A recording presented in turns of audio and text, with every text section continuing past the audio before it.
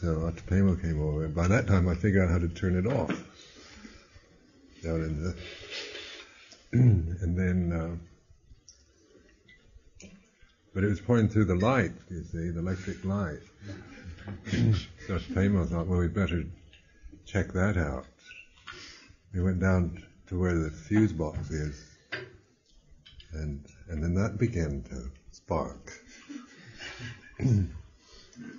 Flames coming out of it.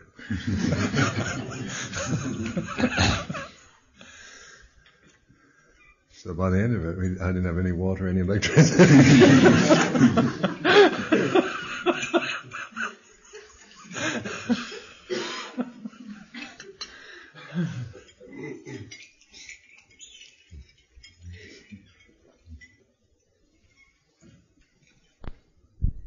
now you can give something. Make it a totally generous act, like being really considerate, to be to be on time and get there early. Don't don't don't get bound by the schedule, but offer time as much as you can to praying for peace or meditating for peace.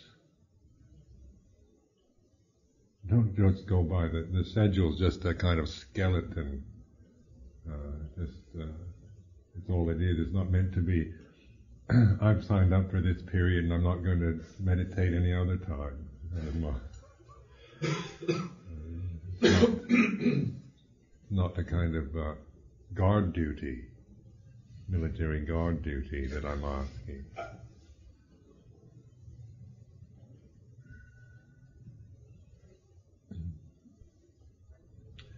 And joy comes from giving, so so make offerings to the Buddha Dhamma Sangha, welfare of all things and beings, sharing of merits, praying for peace.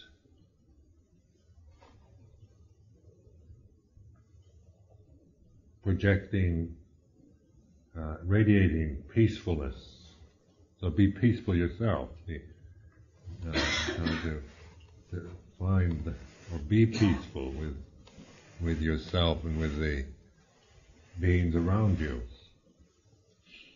So it's not just a, a, kind of may all beings be peaceful and then feeling very upset and angry about somebody that sneezes or whatever in the meditation hall.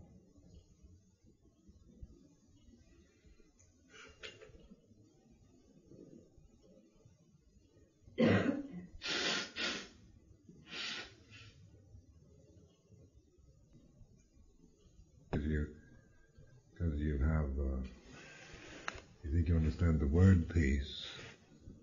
So much of the peace movement, people are shouting for peace, but they're anything but peaceful.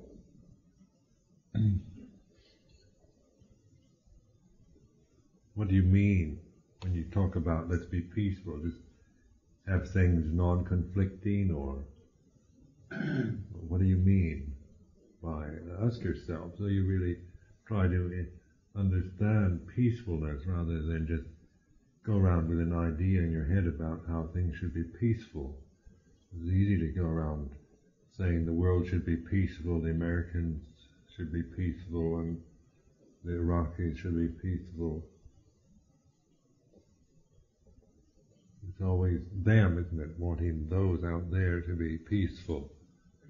And so you know what it is? You know what peace really is? Do you know how to be peaceful? Before you go around pointing the finger at Saddam Hussein or George Bush, you find out just where peace is and what it really means.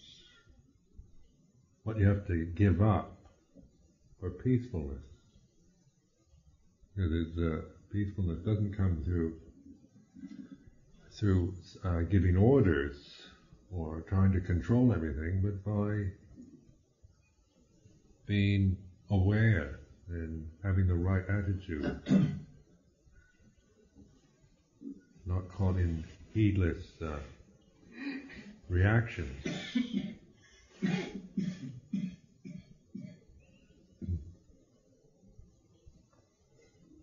metta practice, metta, these kind of words, metta, uh, loving kindness, patience. Try to be peaceful even with your mad mind. If your mind's going crazy, then learn how to be peaceful with the mad mind. How do you do that? Be non-conflicting, non-contending.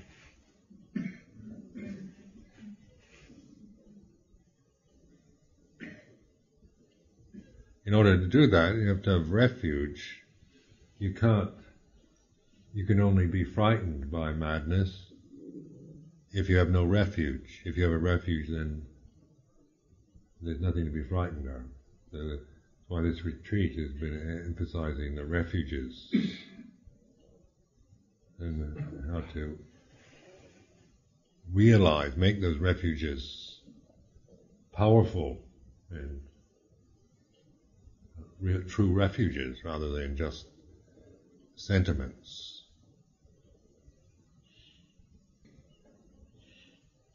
Uh, those of you who have been busy working the past couple of days and getting very active and it, observe just what it's like to go back to passive retreat. There's a activity and that stimulates and one gets stirred up and gets set into motion, gets wound up. and to sit with that feeling of, if you're wound up, to be able to sit and watch uh, and be peaceful with that feeling of a, that kind of compulsive, restless energy that wants to run around, run about.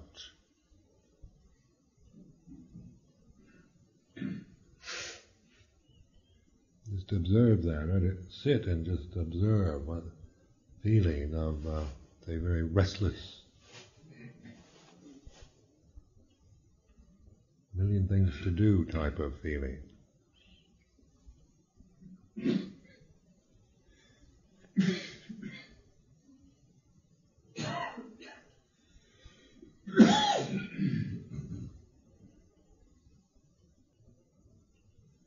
There's an article in some magazine recently, or a letter to the editors saying that that the Archbishop of Canterbury's prayers for preventing a war in the Gulf and the prayers of the various religious groups didn't work because there's obviously a Gulf War, so obviously prayer doesn't have any effect.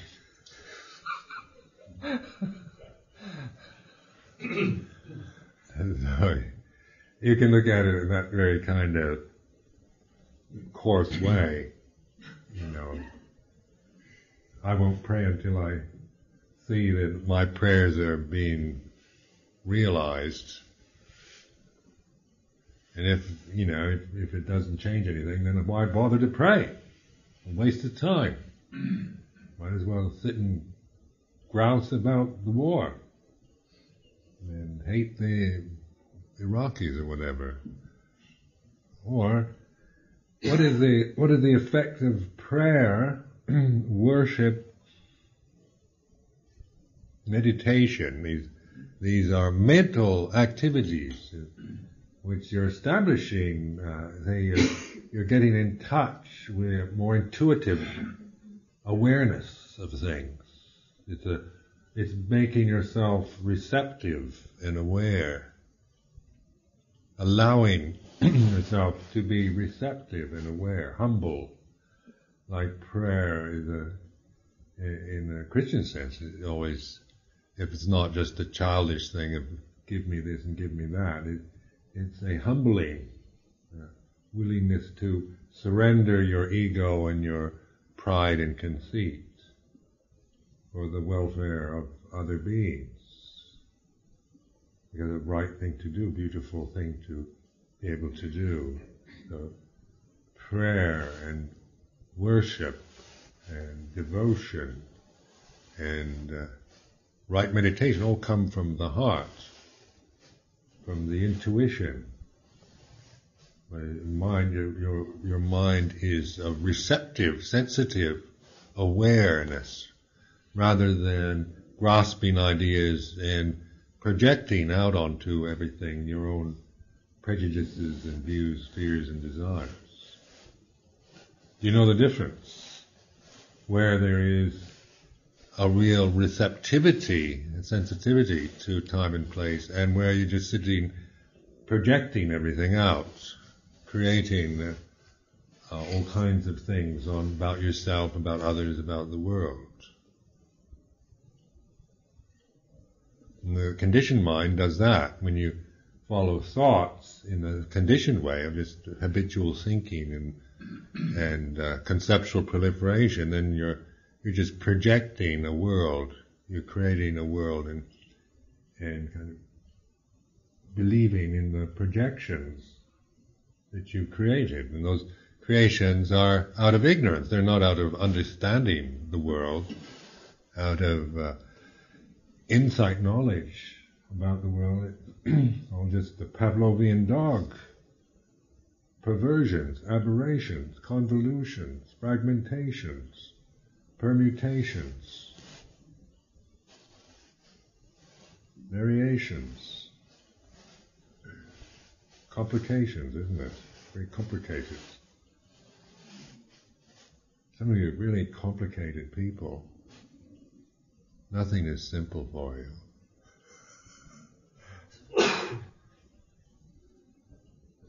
Mountains out of molehills. Some of you see a molehill and you think, God, it's a big mountain. You see, see some some little thing and you it becomes ginormous. Everything is is absolutely and and just absolutely shattering.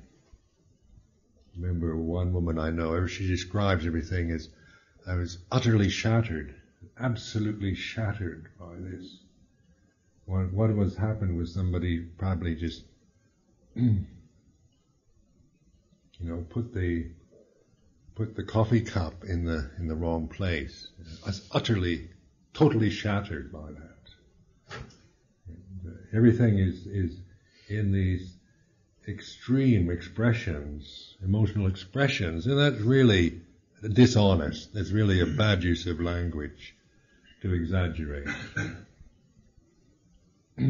One needn't be totally and absolutely shattered by a molehill.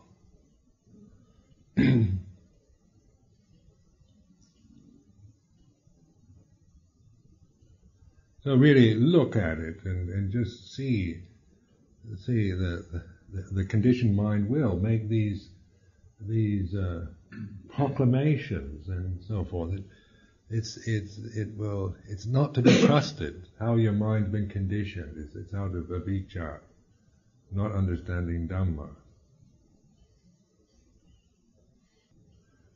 Human beings are really quite resilient and tough. you can take a lot. But some of you, I mean, I think middle class Western people are just so spoiled that they, they're absolutely shattered over nothing.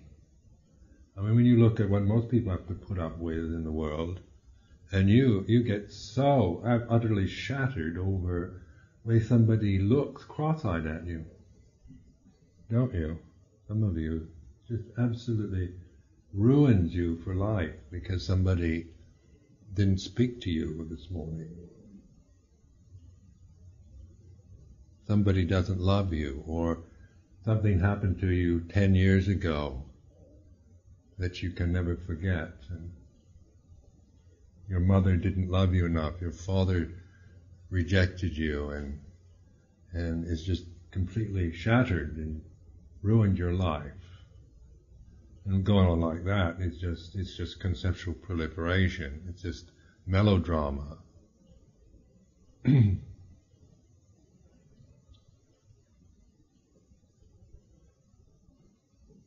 sometimes when you have a tougher life, you just have to bear up with life. And you're trying to get something to eat just to feed uh, three starving children, or put up with a drunken husband, or something like that, uh, and just get by on just for survival.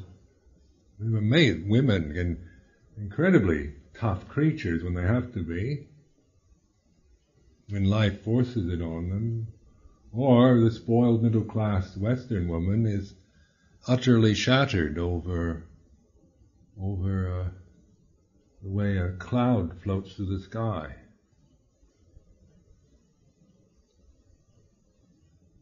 With men, Western men, we're so we're so fixed in our ideas. We've got so many prejudices and views. We believe them and we, we never question them. So we just men, Western men are just really insensitive creatures. Because they're always coming from their heads. They don't develop their hearts very much. You don't find really heartfelt warmth from Western men very much. It's always ideas, ideals, positions to take. Very, very self-righteous and judgmental and and think we know everything because we're well educated. One of the biggest uh, failures of Western society and in my generation here are Buddhists, Western Buddhists, who believe they understand it because they, they figured out the words.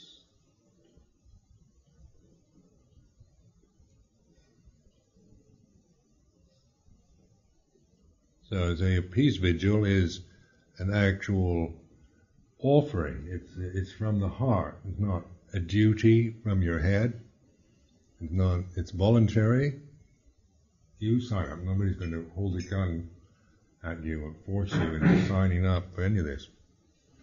So, you uh, make offerings. And then, then that attitude of giving, of dana, of, of devotion, of blessings, of refuge, these heartfelt, uh, developing that, the heart, the intuition, the receptivity,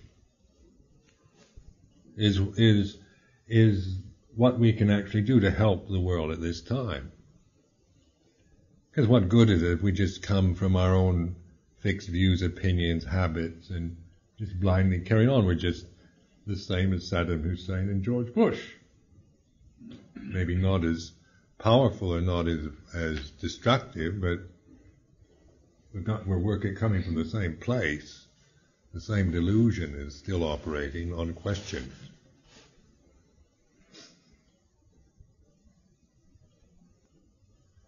With the English mentality, really look at that tendency to understate things, and because it's a, it's a, a cultural habit that tends to be also dishonest.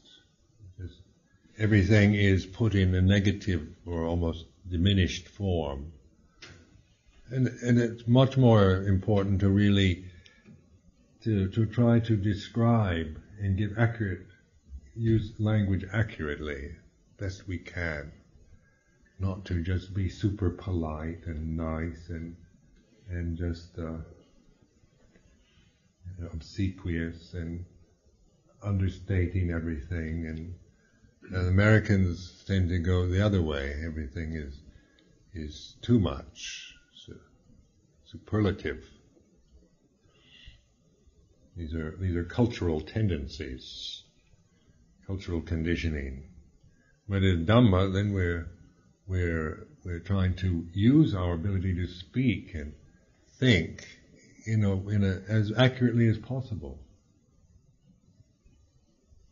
Right speech comes from right understanding and right uh, thought. The intuition is is uh, ability of a human being to be receptive here and now you, you're receptive, your, your mind is, is not bound to anything. Intuitive people, their, their mind is not biased or prejudiced at that moment. It's receptive. It, it sees and knows the way it is. But then the conditioned mind can easily uh, give the wrong interpretations. So sometimes people's intuitions come out as, as rather bizarre because they they have not developed the ability to express accurately in words an intuitive an, an intuition. Now remember, this the, the this this form we're in, the human form, is a sensitive form. It's not. It's it's here and now form. It's sitting here, and the time is now, and the sensitivity is now, isn't it? It's not being sensitive during the peace vigil when it starts tomorrow. Its sensitivity is now like this. It feels this way. The pain, the, the pleasure, the indifference, the, the heat, the cold, the, the, the emotional states, the feeling of being happy and joyous or being depressed and despairing,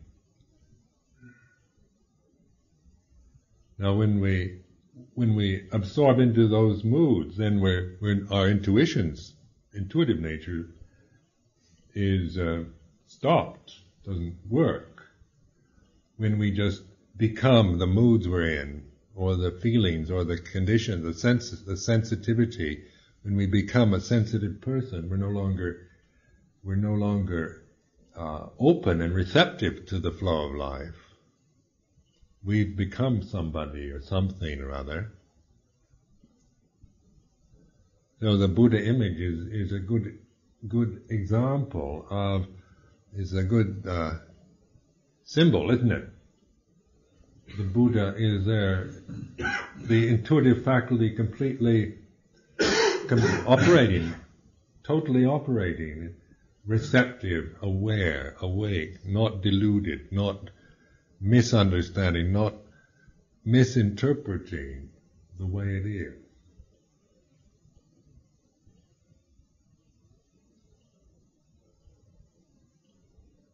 So to be able to develop the intuitive ability, you have to you have to really let your own fears and desires into your consciousness. Allow them to be conscious be, and be aware of them intuitively aware of fear and desire rather than reacting, absorbed into it, indulging or suppressing in fear and desire. It's receptive to fear and desire. It's receptive but not absorbs, absorbing into it. It's different, isn't it? Receptivity is a, is a, is a, is a refuge absorption, and then you become what you, the object. You become like that. You become somebody. You become uh, despairing or depressed. You become elated or happy. You become somebody who's cold, somebody who's hot, somebody who's whatever. Through absorption into the uh, into the aramana or the objects. So to to transcend or to to break the habit of absorption of becoming, then you you uh, develop this patient practice of patient awareness, mindfulness, reflection, dharma reflection, refuge. Loving kindness is where is, is an attitude of being receptive to the negative of life. Metta, loving kindness. You're, you're, you're willing to endure the unendurable. You're willing to accept the unacceptable. You're willing to be patient with the irritating, frustrating conditions of yourself, of your mind, and, and the other and the conditions outside yourself. Metta. Willing and to bear with the way it is when it when it's not the way we want it to be. Patience, metta, and patience, khanti, patient endurance.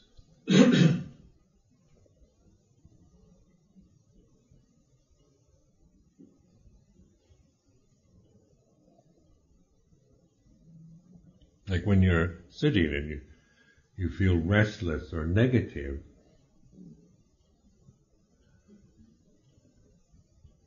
or dull or the hindrances, then to be receptive to it rather than to try to get rid of it. To bear with it. It doesn't bear and enduring doesn't mean a kind of willful uh, putting up with it. That's not receptivity, is it?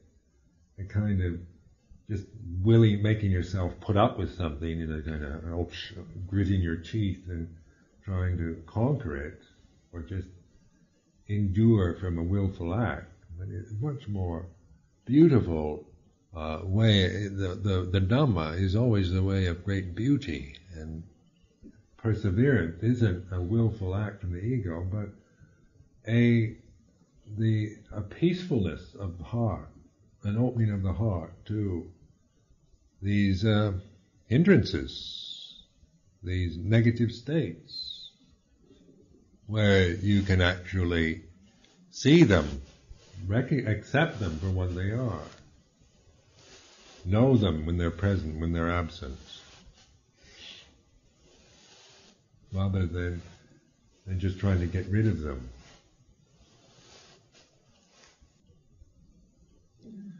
Doesn't matter if our peace vigil has absolutely no effect whatsoever on the Gulf War, does it?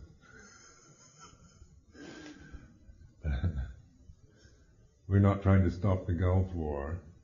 I'm not. I'm not. I've no desire to stop the Gulf War. The Gulf War is the karma of humanity. We have to live with it. We have to accept it and bear with it, with what happens. And not just, oh please stop it and we don't like it and it's not nice kind of thing. It is a result, it's the karma, uh, it's our karma which means that that it's, it's going to be the way it is. And this isn't a statement of, of fatalism, you know, just saying that, but it is a determination on the, on this individual level not to create that karma in my own life that that makes Gulf wars possible. We can do that much. That I can do. I can put forth the effort not to to follow the same uh, conditions, the ignorance that is the that where Gulf wars are the results. I can't make you do that. I encourage you. I'm encouraging you now, but uh, I can't make Saddam Hussein or George Bush or Mr. Major or any of these people uh, can't transform. They're the results of their karma, heirs of their karma.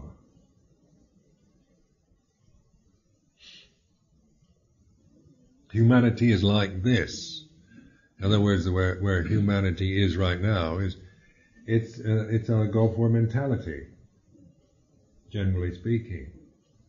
It's our karma. This is war is our karma.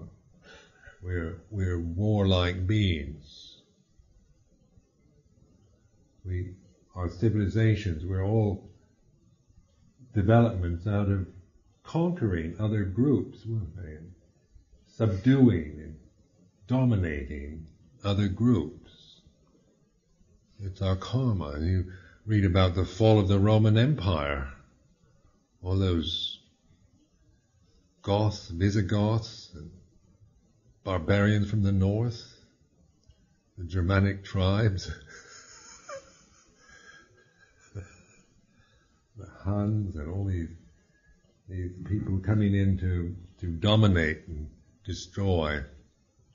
And uh, this, the North American continent was a just a willful act of Europeans to just take over somebody else's land, completely subdue them and destroy their very soul, their very their their self-respect. American Indians, they were, they were destroyed as a nation by the Europeans. So the this Americans wanting to destroy Saddam Hussein, well, same working on the same principle. It's in the blood, it's in the genes.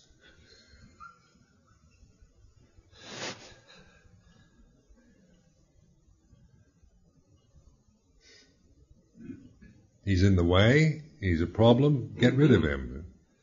It's the way we deal with life, isn't it? The way we deal with with pests, with the Rentokil, insect killers, fly sprays, mosquito sprays, everything that is irritating and on what we don't like, we just spray it.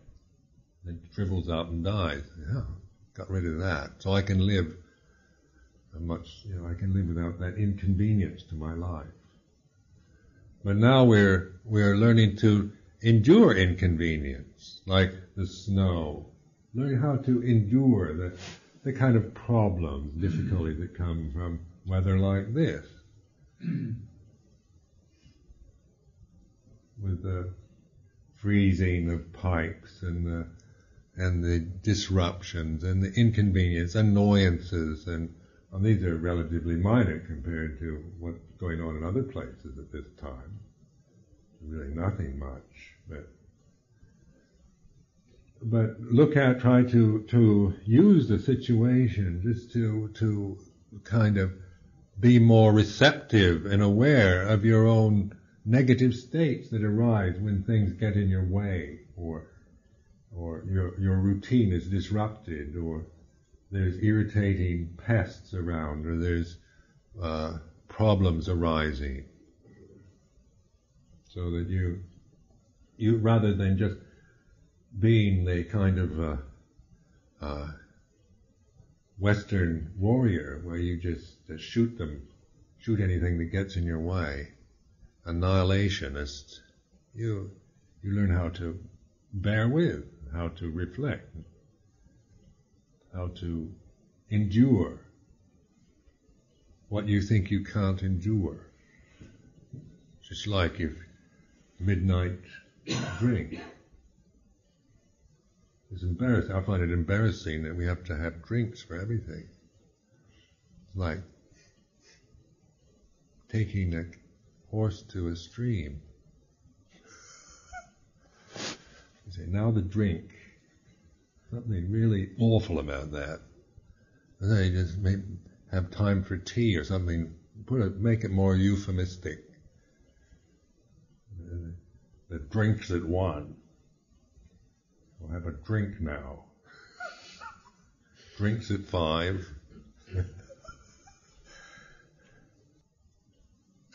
Anybody who goes to work at one gets rewarded with a drink. Don't they? How many of you would go to work without a drink at one? Hmm?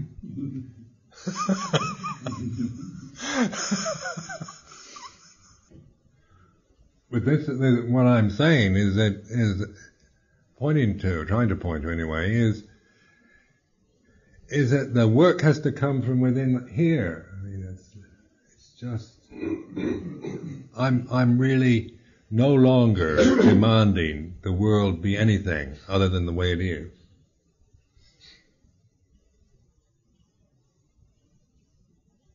Saddam Hussein and George Bush, John Major, and all the rest of them, Gorbachev, the whole lot, are the way they are. They're the results of their karma. This is the way it is. and we say, you, we don't like the way you are, you should be otherwise. But maybe they aren't very good. Maybe they are uh, villains or baddies or whatever. But that's, that's the result of ignorance.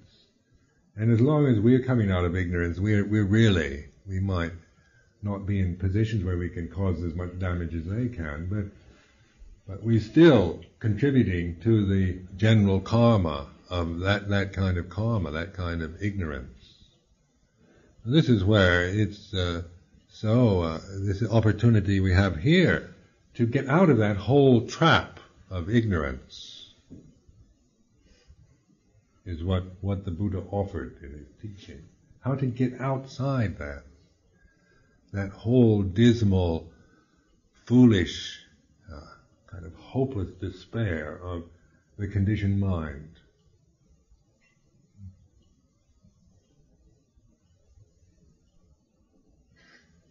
So when, we have compassion for Saddam Hussein, rather than, well, wish we could get rid of him. America, George Bush would love it if somebody just went in and shot Saddam Hussein to the brain. Well, that'd be such a relief, wouldn't it? Get that guy out of the way.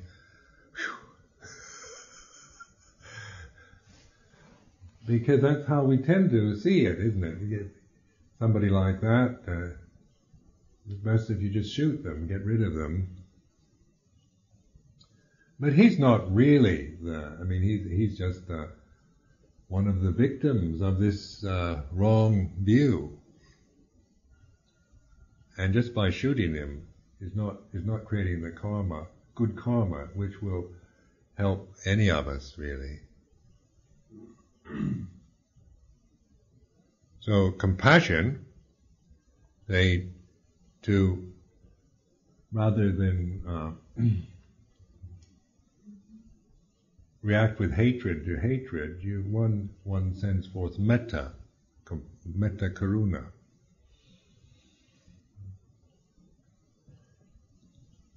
People say, well, what if what if the British, when Hitler was trying to invade Britain, what if the British didn't just let the Nazis take over Britain and then they put them all in concentration camps? And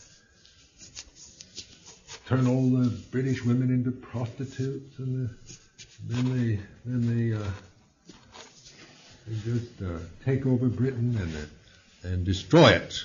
That's what happened if the Nazis invaded Britain and the British just didn't put up a fight. But how do you know? It never really happened. I mean, we'll, we're always we're always reacting when hatred arises from somebody. We react with hatred. So it's, uh, you know, people get slaughtered and in wars, like now so many people probably in Iraq are just being kind of killed off and just people that happen to be in the wrong place. Not that they've done anything wrong, particularly.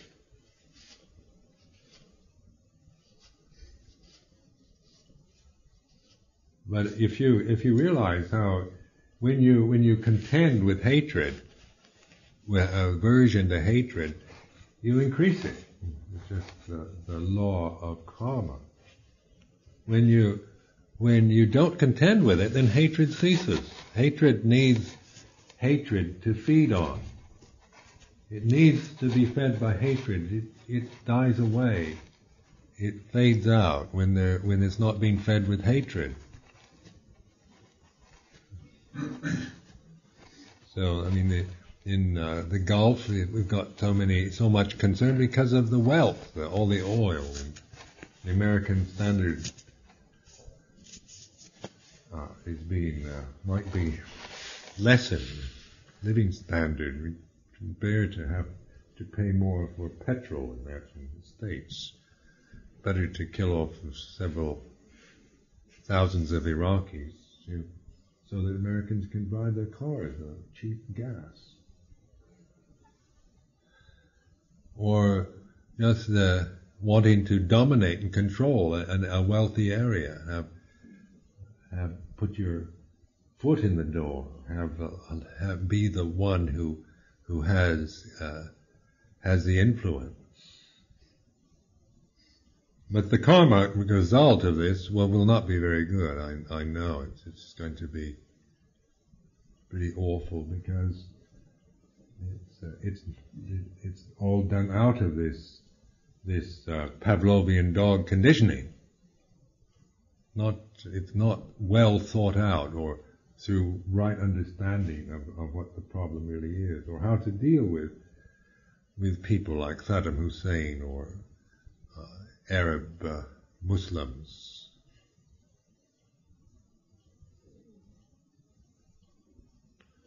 So this we have to just put, bear with the karma of this. But in our own lives we can put forth that right effort to not make those same mistakes. Because what right do we have to condemn and point to others if we're not, you know, why should, why should they do it? Why don't we do it? Why don't I do it?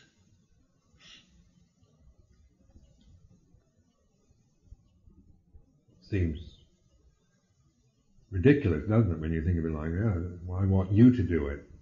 For me, I want George Bush to become an enlightened arahant. For me, I want John Major to to do all the right things for me, so we can live in peace here in Britain, and we won't have these dreadful wars and and terrorism and all that. We can get rid of all that because I don't. It, it upsets me. It makes me feel insecure to have terrorists, IRA and Palestinians, PLO, and all these kind of these, these kind of uh, specters and phantoms because it's what I can do for myself, and it's also for the welfare of others.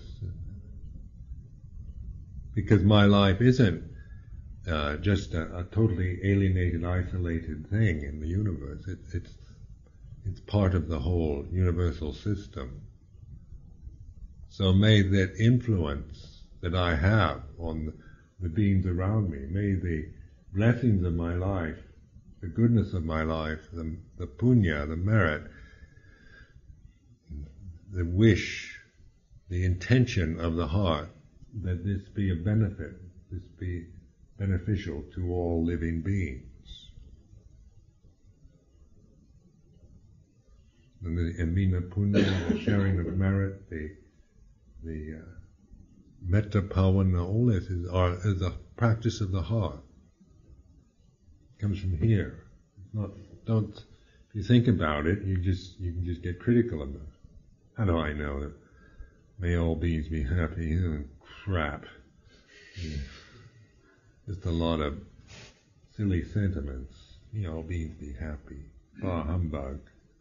Or, that's, that's the, uh, that's the critical faculty condemning the heart. And we do that, don't we? We, with our negative mind, we can really hate goodness.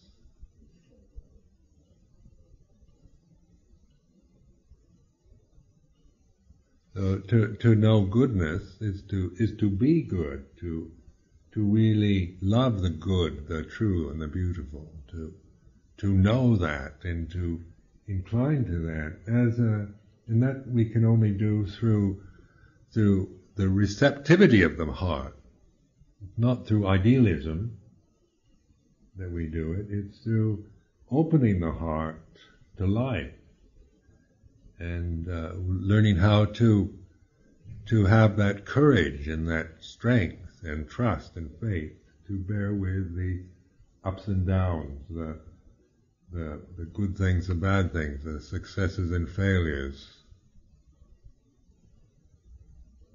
that are just a part of our karma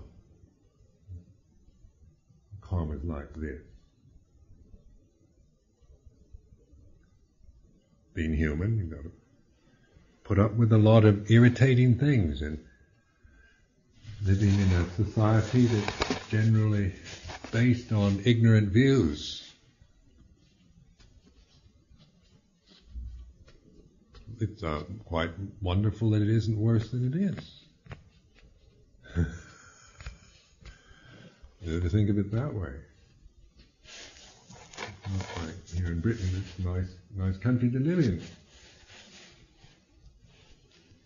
It's right, there's, there's, it's, it's all grown out of avijja paccaya sankhara, there's still something operating underneath all that, it is quite good. So we want to encourage that and, and be in touch with that, in tune with that goodness,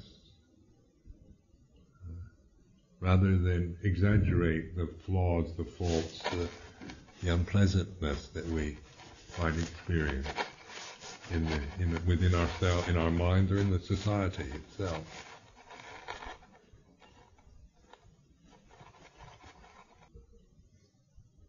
As uh, a, say, the holy life is a is a way of the heart. It's a it's a surrender to to truth. It's a, it doesn't work if it's just an act of will. The holy life, monasticism, doesn't work if it's an act of will. It's a total, it's a holocaust, total burning, and a surrender to the fire, the purification. So when you're utterly miserable and totally despairing, it, that's the time to be trusting and patient. Surrender to, to pain, to accept it, accept all of it, the despair and the disappointment and the, and the uh, di- disillusionment, because then your heart will open up.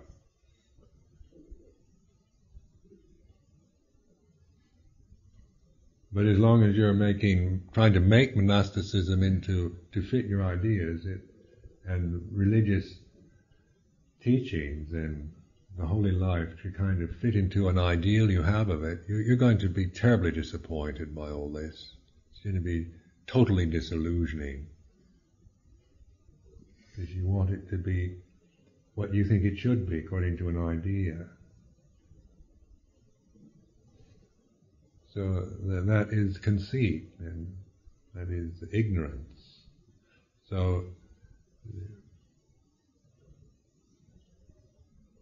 with, uh, with our life together here, it's an act of surrender. Let things burn up inside you. Let let the fires, purification, burn away. Desires, fears, just burn up. And when there's nothing left to burn, then that's the, that's the pure heart. That's the liberation, freedom from delusion.